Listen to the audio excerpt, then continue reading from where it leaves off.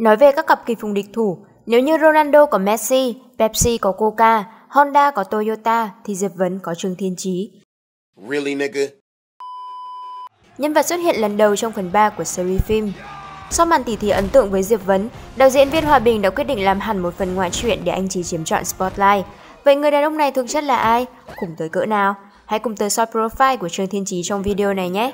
Như thường lệ, đây là cảnh báo spoiler cho những ai quan tâm. Chào mừng các bạn đã quay trở lại với Tentacles, tôi là Thủy nhà bên và giờ chúng ta cùng bắt đầu nào.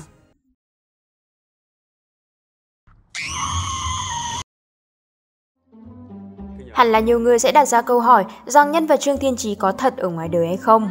Theo như tớ tìm hiểu thì Trương Thiên Chí chỉ là một nhân vật hư cấu mà thôi. Trong phim, người xem cũng không được cung cấp nhiều thông tin về quá khứ, quê quán hay gốc gác gia đình của Thiên Chí.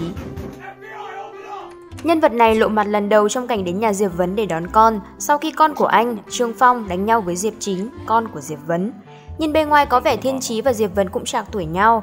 Phong cách ăn mặc của anh đậm chất Hồng Kông lúc bấy giờ, với áo phông, áo di lê khoác ngoài, kèm theo một chiếc khăn ở cổ. Chí hiện đang sống cùng con trai, không rõ vợ đã mất hay ly dị. Nghề nghiệp của Chí là phu kéo xe, biển số xe là 59.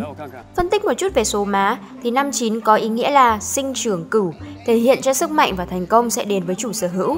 Nhưng có vẻ thời điểm chỉ mới xuất hiện trong phim thì cuộc sống vẫn còn đang quá chật vật. Ngày này ngốn của anh nhiều thời gian đến nỗi việc đón con không kịp giờ diễn ra như cơm bữa. Vất vả là vậy, nhưng đồng tiền kiếm được là ít ỏi, chỉ đủ trang trải cho cuộc sống của hai bố con.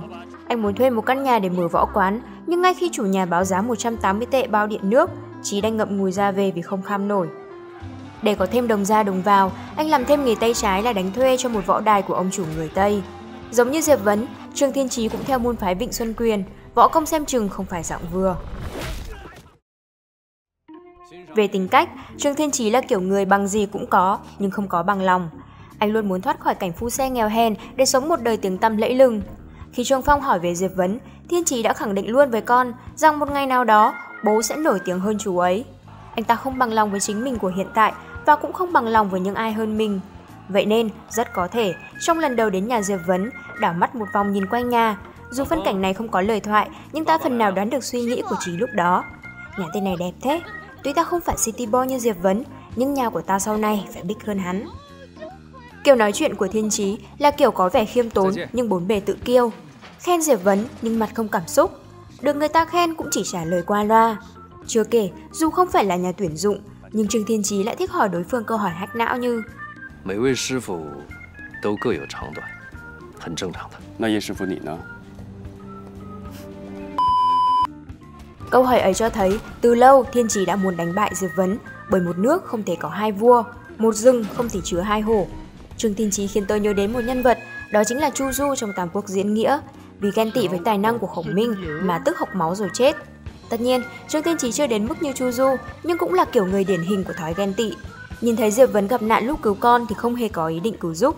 Nhìn thấy Diệp Vấn xuất hiện trên mặt báo thì cũng muốn mình lên báo cho bằng bạn bằng bè. Nhân vật Trương Thiên trí giống như là một phiên bản ngược của Diệp Vấn vậy. Một bên sinh ra đã là Rickit, sau bao sóng gió vẫn hoàn Rickit, thì bên kia mưu sinh vất vả, cuộc sống thấp hèn. Một bên không thích phô trương, không màng danh lợi, không ham lên báo thì paparazzi suốt ngày săn ảnh. Bên kia thích phô trương, thích tiếng tăm lẫy lừng thì lại cần phải bỏ tiền thuê người ta viết về mình. Khác biệt nhất là quan điểm về võ thuật. Diệp Vấn cho rằng võ thuật chỉ là công cụ để tự vệ, hành hiệp trượng nghĩa, thì Trương Thiên Trí cho rằng võ thuật là để phân định cao thấp. Chính vì vậy mà trong lòng anh ta luôn mong mỏi sớm dấn thân vào giới võ, cho thiên hạ biết Trương Thiên Trí là ai. Quay lại con số 59, sinh trường cửu, quả nhiên chủ nhân của nó cuối cùng cũng được tọa nguyện. Sau bao lâu tích góp, Trương Thiên Trí cũng có đủ tiền để thuê được căn nhà 180 tệ một tháng. Nhưng anh chỉ thật sự đổi đời khi đã đánh bại được các vị sư phụ để xưng danh và được một quý nhân tài trợ xây dựng hẳn một võ quán khang trang đẹp đẽ. Thói đời cao ngạo, chỉ công khai thách đấu với Diệp Vấn để xem Vịnh Xuân của ai mạnh hơn. Và như chúng ta đã biết, vào hôm tỷ thí, Diệp Vấn cũng đến, nhưng không phải đến võ quán của Trương Thiên Trí mà đến lớp nhảy cha cha cha để nhảy cùng vợ, bỏ mặc Thiên Trí ngẩn ngơ đợi chờ. Mãi sau này, vợ của Diệp Vấn gửi lại thư thách đầu thay chồng, trận đấu giữa Thiên Trí và Diệp Vấn mới thật sự diễn ra. Hai người lần lượt đấu gậy, đấu dao, đấu quyền với nhau. Qua cách đánh với Diệp Vấn, Trương Thiên Trí bộc lộ mình thực sự muốn giành được chiến thắng bằng cách ra đòn hiểm hóc, không chút lưu tình. Thế nhưng vẫn đánh không lại Diệp Vấn.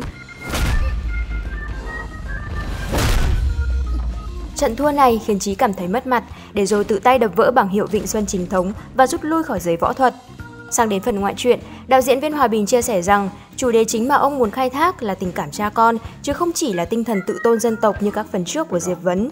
Nếu như ở phần 3, khán giả không mấy thiện cảm với Trương Thiên Chí do thói đố kỵ, cao ngạo, thì sang phần ngoại truyện, nhân vật này được xây dựng theo hướng hoàn toàn khác, gần gũi hơn và giàu tình cảm hơn. Bà ba,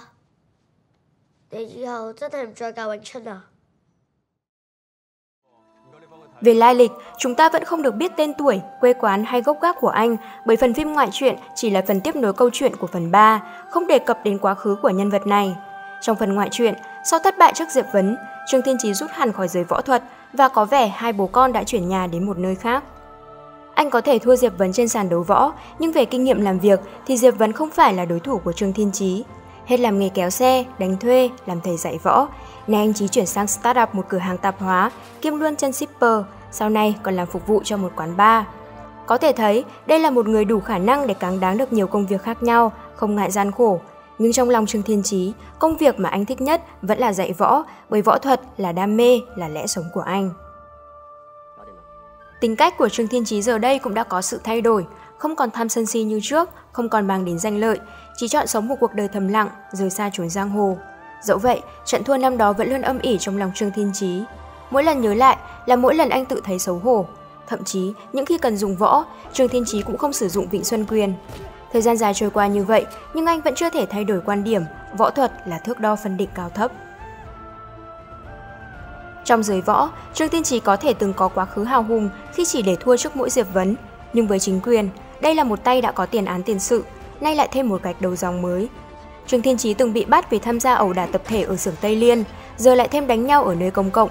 Thế nhưng, đó đều là những lần mà anh ra tay cứu người khác. Hết cứu bạn của con, rồi đến cứu hai cô gái bị xã hội đen vây đánh. Nhìn nhận một cách khách quan, thì Trương Thiên Chí không chỉ biết thách đấu người khác để xưng danh, mà còn biết hành hiệp trưởng nghĩa. Và cũng trong phần ngoại truyện này, chúng ta được biết nhiều hơn về năng lực của Trương Thiên Chí, cả về năng lực làm bố cũng như năng lực võ thuật. Về việc làm bố, anh chính là hình mẫu, thần tượng của con trai. Trong mắt Trương Phong, bố luôn là người mạnh nhất, lợi hại nhất, không khác gì nhân vật Batman mà cậu yêu thích. Cách xưng hô của hai bố con cũng rất thú vị. Ở phần 3 là sư phụ, đồ đệ. Phần ngoại truyện, Thiên Chí gọi con là ông chủ. Điều này khiến cho cậu bé luôn có cảm giác được che chở. Dù bố bận việc, không kịp đến nhà hàng ăn bít tết mừng sinh nhật, nhưng chỉ cần nhận được món quà bố tặng, cậu bé vẫn vui cười tít mắt. Cùng Trương Thiên Chí trải qua nhiều biến cố như bị băng đảng xã hội đen đốt nhà đuổi giết, phải đến nương nhờ nhà người ta, nhìn thấy bố lăn xả cứu mình đánh bại kẻ xấu, trong lòng Trương Phong lại bội phần ngưỡng mộ bố. Có thể nói đạo diễn viên Hòa Bình đã xây dựng thành công hình tượng người bố của Trương Thiên Chí. Thậm chí so với Diệp Vấn, tình cảm bố con nhà Trương Thiên Chí vẫn có phần gần gũi, cảm động hơn. Phần 3, khán giả được biết về cung phu của Trương Thiên Chí nhưng chưa thật sự cảm thấy mãn nhãn vì thời lượng phim chủ yếu dành cho Diệp Vấn. Ngoài lý do muốn đi sâu vào tình cảm cha con thì yếu tố thời lượng phô bày khả năng của Trương Thiên Chí còn ít cũng chính là lý do mà đạo diễn viên Hòa Bình quyết định dành hẳn một phần phim cho Trương Thiên Chí. Đã làm thì làm cho đã. Ở phần ngoại truyện, người xem được thưởng thức võ nghệ của nhân vật này cả khi dùng và không dùng Vịnh Xuân Quyền để đánh bại các cao thủ đầy nguy hiểm. Phân cảnh mà nhiều khán giả ấn tượng nhất chính là cảnh đánh mời rượu giữa Trương Thiên Chí và Tào Nhạn Quân do Dương Tử Quỳnh thủ vai. Diệp Vấn 4 cũng có một cảnh đánh mời trà giữa Diệp Vấn và Vạn Sư Phụ nhưng lại chưa thật sự ấn tượng bằng. Giống cách xây dựng nhân vật Diệp Vấn, Viên Hòa Bình cũng xây dựng nhân vật Trương Thiên Chí theo hướng anh hùng hóa để tô màu thêm cho profile của nhân vật. Trung cuối mà Trương Thiên Chí phải đối mặt là Davison, một tay buôn bột mì đội lốt ông chủ nhà hàng. Hắn ta còn thông đồng với các cảnh sát tham nhũng ở Hồng Kông để tiện đường làm ăn. Trương Thiên Chí ngoài việc muốn vạch trần tội ác của hắn, còn muốn trả thù cho ân nhân đã bị hắn đánh chết. Qua các trận đấu, chúng ta nhận thấy Trương Thiên Chí dần dần có sự thay đổi về quan điểm võ thuật.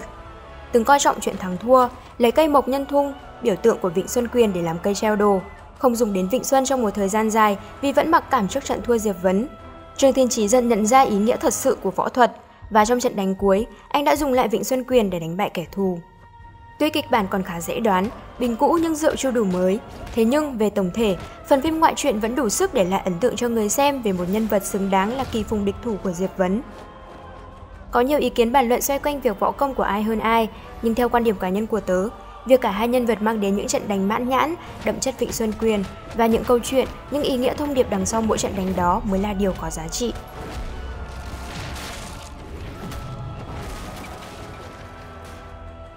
Vậy là chúng ta đã đồng hành cùng nhau trong suốt 5 video, tương ứng với 5 phần của series Diệp Vấn. Cảm ơn các bạn vì đã dành thời gian theo dõi, cũng như đóng góp các ý kiến để cải thiện chất lượng video. Mọi ý kiến tớ xin ghi nhận và rút kinh nghiệm cho những series tiếp theo. Đừng quên like, share video cũng như sub kênh để tiếp thêm động lực cho chúng tớ nhé. Tớ là Thùy Nhà Bên, xin chào và hẹn gặp lại.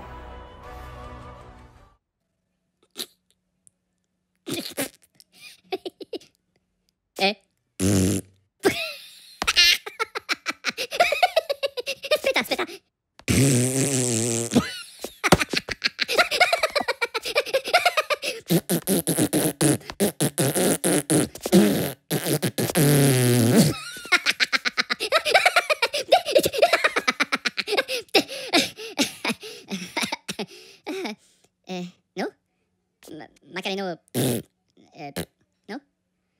Huh, okay. eh? oh! Pua! Ah! Taramino! Put! Pua! Pua! Kino! Pua! Oh!